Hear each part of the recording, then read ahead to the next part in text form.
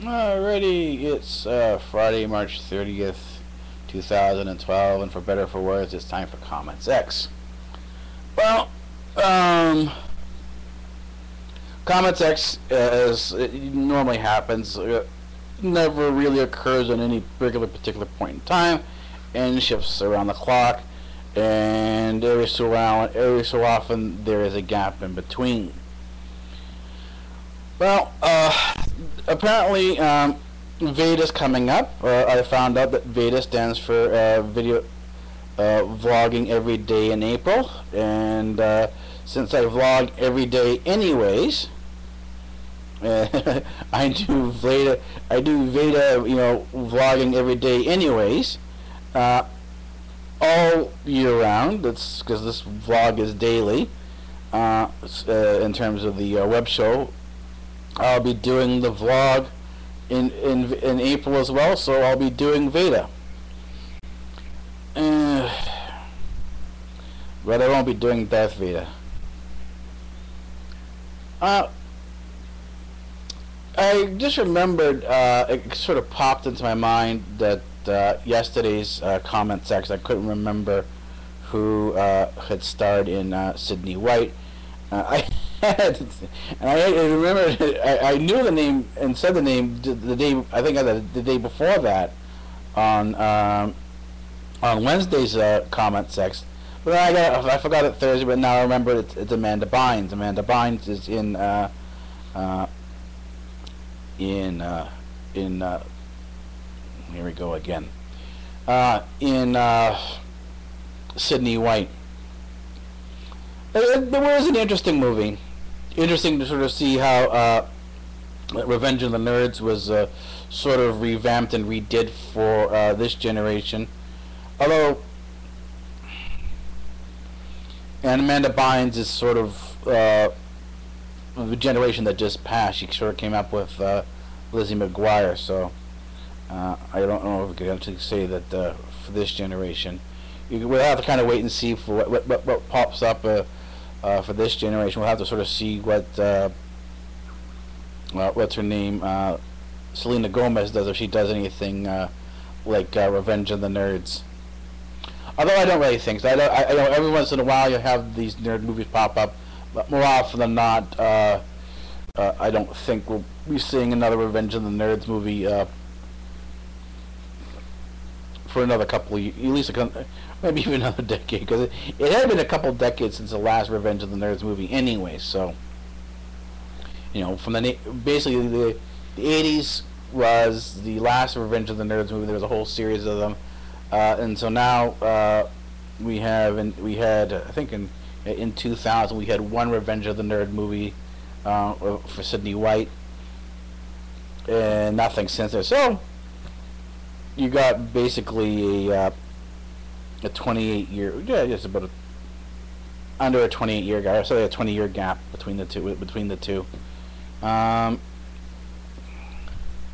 I was able to finish the, uh, this has been a, a, month now for the news and ironically but I, I kind of missed it uh, we're beyond our 100, 100th episode of uh, Big Bang Theory RL now for Comments X.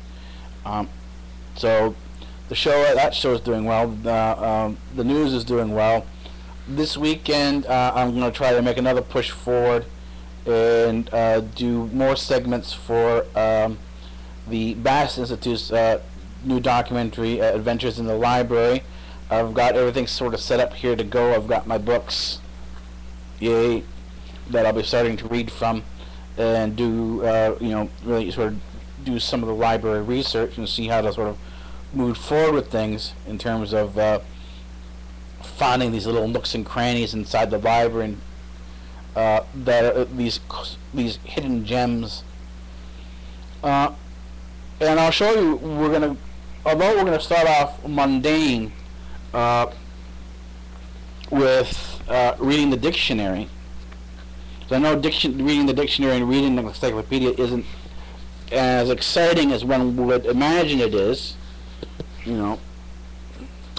Uh, but it does actually have a, a bizarre connection, and so I, what I'll do is I'll go back, redo um, the reading, But rather than sort of do the reading, it's going to connect to other things. I'll show you how we're going to connect one book to another book. We're going to connect the dictionary to the encyclopedia here.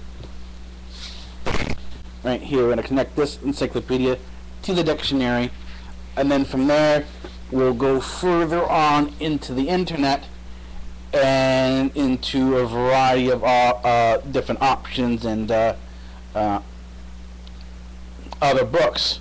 And then what we can do is we can actually bring a good chunk of it, actually, we can bring a chunk of this sort of into the fiction library, show you how it actually connects to a fictional story that's inside the library or, or other fictional stories that uh, you can take a look at. And this will give you an idea of how you connect something that is non-fiction to fiction. Uh, so we'll do that. Uh, just, uh, uh, you know, I spend a large chunk of my day reading and studying. This is what I do for most of my days. I'm here either reading, studying, uh, writing. Uh, it takes me four or five hours to parse through uh, a large chunk of the sources that I have for the news. Uh, I'll be adding uh, the economics channel for this week. I'll be doing the first uh, little bit for the economics channel. It'll be not nothing too large. Uh, probably just like a 10 minute introduction to uh, the economy.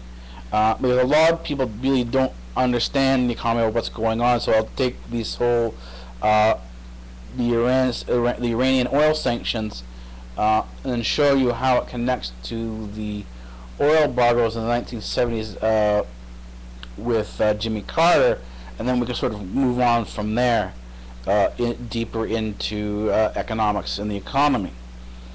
And the perspective we're taking is not the academic uh, economics, but we're going into the banking and uh, financial economics. There's two basically standards for economics. There's an academic one that stays primarily within the university and is not really applied to overall real world economics.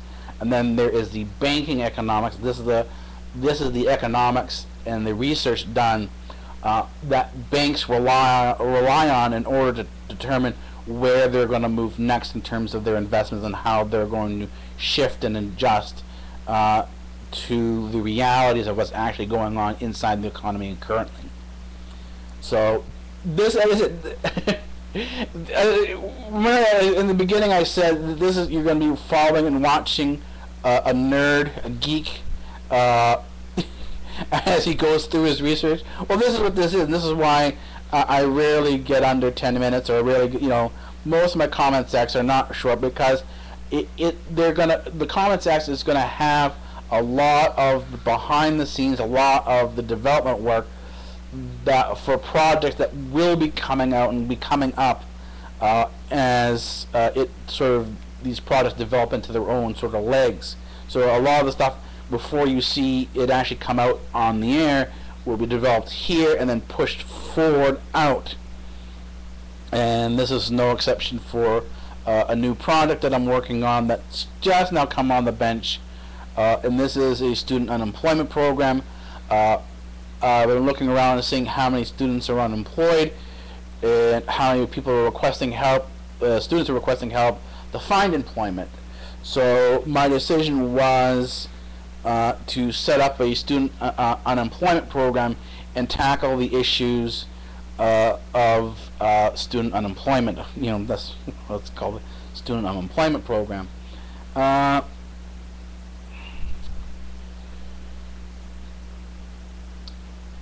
What they should look at, for any, and this is any of you who are looking at the uh, the, the, the list that I have, the uh, Yahoo, uh, the Facebook page, that uh, before stuff comes out onto the page as an official part of the program, it will be mentioned and discussed here first uh, as the development goes on, and this is sort of the economics channel is the next step in student uh, uh, employment uh, in order to understand how you need to become employed. You need to understand the economy in which you're going to be employed in.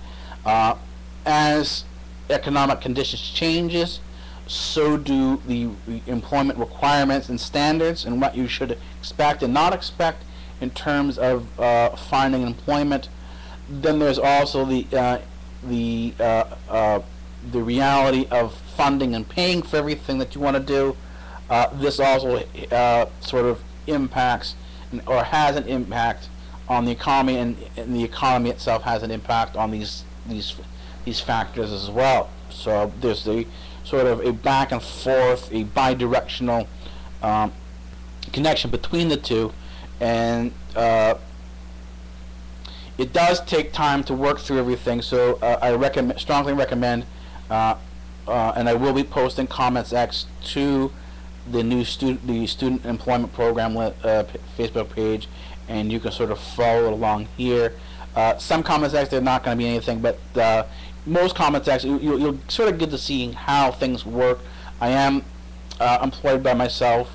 Uh, I I have been here now for 20 plus years, and so if I can do this, I think there's sort of a path that you can find. It's not necessarily an easy path, but there is a path that you can follow and take and make sure that your uh, the work that you're doing is uh, satisfactory or sufficient to maintain employment or a good enough lifestyle.